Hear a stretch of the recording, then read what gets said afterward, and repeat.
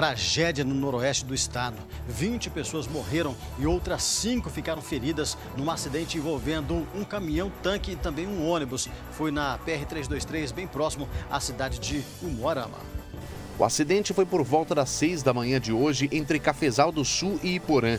De acordo com as informações repassadas pela Polícia Rodoviária Estadual, um caminhão-tanque que transportava leite teria se perdido em uma curva e bateu de frente com um ônibus da Secretaria de Saúde de Autônia, que fazia transporte de pacientes idosos.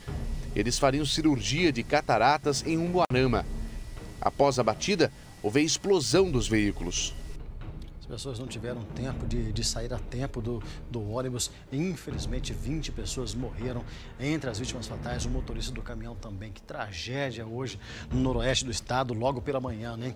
Ainda nesta edição do Brasil Urgente, vou tentar trazer mais informações a respeito desse caso. A nossa equipe de jornalismo da TV Trobá de Cascavel se deslocou até o Moarama, fechando um VT lá, uma matéria. E vamos ver se nessa edição ainda do Brasil Urgente eu consigo trazer informações detalhadas a respeito, então, desse, dessa tragédia acontecida hoje na PR-323, bem próximo à cidade de Umuarama, tá? A gente está editando a matéria e vamos tentar, ainda nessa edição, trazer informações para vocês.